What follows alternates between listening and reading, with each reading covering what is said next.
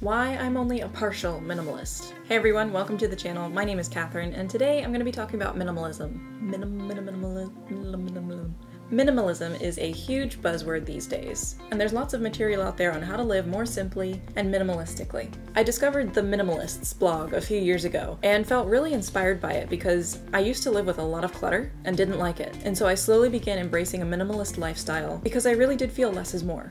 And I think I still feel that way. But I have to admit my one weakness books. I love physical books. Something about the smell of the pages and like the feel of the paper in my hands. Getting a Kindle just isn't gonna compare to that. I hesitate to call myself a minimalist because Sometimes I still feel like my lifestyle is very cluttered. I don't have a whole lot of living space, and if you were to see my closet, it is actually packed full of stuff. But I try to be very intentional about my possessions and what I hold on to and what I get rid of, and I try to get rid of stuff that I don't need. The downfall for me is that I tend to go to extremes, and so one thing I'm susceptible to is the extreme of self-deprivation because I like to see how little can I get by on. And that can be on all things including clothing, food, necessities. And for me, that's not the most healthy way to live. And so I do try to give myself grace in thinking I don't have to be the most minimalistic bare bones all the time. One thing my dad used to say to me all the time when I was little was moderation in all things. And so I try to live by that motto. The idea of,